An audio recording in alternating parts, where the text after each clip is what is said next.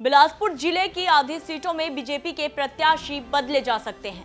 छत्तीसगढ़ में विधानसभा चुनाव से पहले उठापटक की राजनीति तेज हो रही है। इन सब के बीच बीजेपी उम्मीदवारों को दूसरी लिस्ट का बेसब्री से इंतज़ार भी है। बात करेंगे इस रिपोर्ट में उन उम्मीदवारों की जिनके नाम बदलने की संभावनाएँ बनी हुई है। जय जवाहर, छत्तीसगढ़ तक में आपका स्वागत है। मैं हूँ पूजा शर्मा। कुछ ही दिनों में विधानसभा चुनाव होने वाले हैं। इसके पहले ही बिलासपुर में प्रत्याशी बदले जाने की चर्चा इन दिनों तेज हो चली है। राजनीतिक जानकारों के अनुसार बीजेपी छत्तीसगढ़ में कुछ नया करने का प्रयास कर रही है, इसलिए केवल विनिंग कैंडिडेट्स ही मैदान में उतारे जाएँगे। ऐसे में बिलासपुर ज़िले को लोकसभा सीट के अनुसार से देखा जाए तो यहाँ अलग अलग आठ विधानसभा सीट नज़र आते हैं, जहाँ बीजेपी चार विधानसभा क्षेत्र से प्रत्याशी बदल सकती है।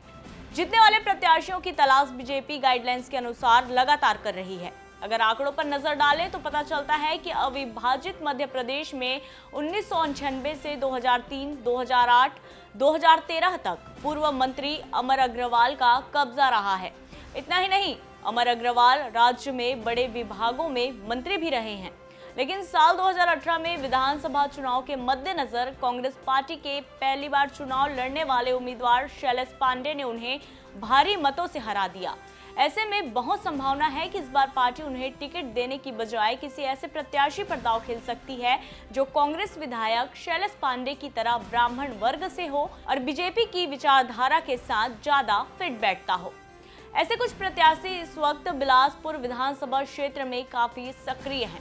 कुछ बेहद पुराने आरएसएस पदाधिकारी भी इस सूची में सबसे आगे चल रहे हैं। बीजेपी ने जिन विधानसभा में कभी अपने चेहरे नहीं बदले, ऐसे प्रत्याशियों की लिस्ट बेहद आश्चर्यजनक ढंग से बदले जा सकते हैं। बीजेपी ने मस्तूरी से डॉक्टर कृष्णमूर्ति बांधी को बीते कई विधानसभा चुनाव में अपना प्रत्याशी बनाए रखा है और मौजूदा समय में वे मस्तूरी विधानसभा के लोकप्रिय विधायकों में से एक हैं। इनके अलावा बिल्हा विधानसभा क्षेत्र के जिताऊ प्रत्याशियों में से एक, बीजेपी के वरिष्ठ नेता और पूर्व नेता प्रतिपक्ष धर्मलाल कौशिक का नाम है। कभी बिल्हा विधानसभा क्षेत्र से हार का मुँह देख चुके धर्मलाल कौशिक इस वक्त बीजेपी के विनिंग कैंडिडेट में से एक हो सकते हैं। लेकिन फिर भी दबी ज़ुबान पर बिल्हा विधानसभा क्षेत्र से कैंडिडेट बदले जाने की खबरें अभी से आने लगी है। इन खबरों में कितनी सच्चाई है, ये बीजेपी की दूसरी लिस्ट जारी होते ही स्पष्ट हो जाएगी। फ़िलहाल बीजेपी में इस वक्त कई तरह के आंतरिक बदलाव देखे जा रहे हैं। पहली सूची ने ही यह साबित कर दिया था कि अब बीजेपी केवल विनिंग कैंडिडेट्स पर ही भरोसा करने वाली है। ऐसे में लगातार पार्टी को जीत दिलाने वाले मुंगेली विधानसभा क्षेत्र के विधायक पुन्नूलाल मोहले की बीते कुछ सालों में लोकप्रियता कम हुई है।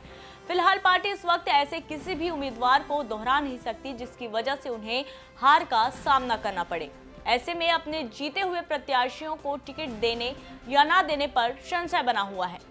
वहीं उनकी बढ़ती उम्र भी देखकर पार्टी बदलाव कर सकती है। लेकिन मुंगेली में आयोजित एक कार्यक्रम में कांग्रेस के बड़े कार्यक्रमों में मुख्यमंत्री के मुर्दाबाद के नारे भी लगाए गए थे। लिहाजा इस वक्त कांग्रेस पार्टी भी मुंगेली विधानसभा क्षेत्र में अपने विनिंग कैंडिडेट को ढूँढने में समय लगा रही है।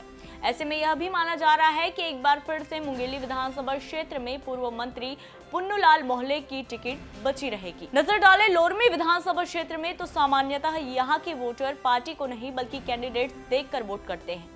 ऐसे में लगातार तीन बार से ज़्यादा विधायक बन चुके धर्मजीत सिंह, जिन्होंने जनता कांग्रेस छत्तीसगढ़ छोड़कर हाल ही में बीजेपी का दामन थामा है। उन्हें बीजेपी लोरमी से टिकट देने पर विचार कर सकती है।